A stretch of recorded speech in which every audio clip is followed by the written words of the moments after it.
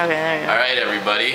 We are here in the Baltimore Washington International Airport next to the greatest invention I've ever seen. That's right.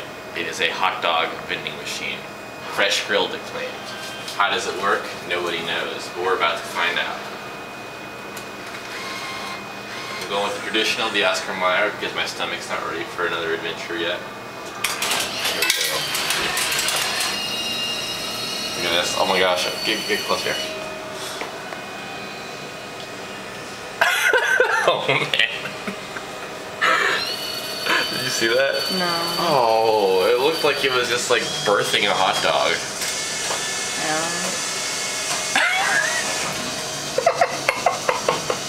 that is. It. Oh my god, it is.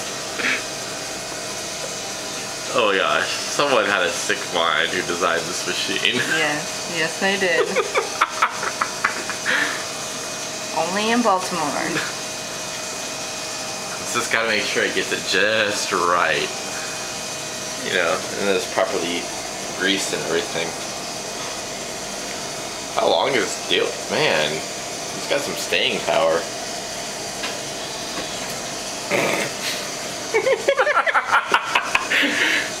Still going, man. Wow. Mm.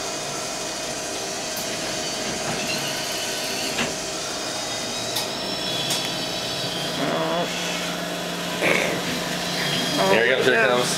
Where's it coming? I don't know. Over here, I guess. Well, look at that. Fresh grilled. We got the condiments here. Let's get some of that. Let's go sit down and try this out.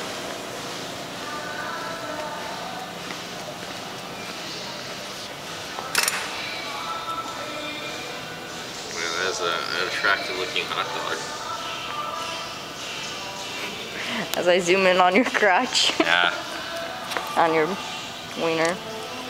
Now, I'm pretty daring, you know, I've, I've eaten grasshoppers in Mexico and everything. Never have I been more scared of a food. But let's do it anyway. Mmm. Oh man. That is delicious. Mmm. It's like a New York City street vendor. Wow. Alright, well here you go, have a bite.